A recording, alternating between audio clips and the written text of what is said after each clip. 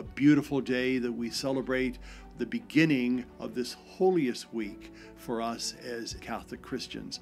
We absolutely need priests to lead us in, in our prayer lives, to be shepherds, to lead, feed, and protect us. So it's important that we behold them and pray for them. Symbols of palms and the symbols we use in church of fire and water and bread and wine all help us to hang on to the basic tenets of our faith. The same, I think, with crucifixes in our homes and medals that we wear around our necks. If you've never been to a Holy Saturday liturgy, it is one that is of great mystery.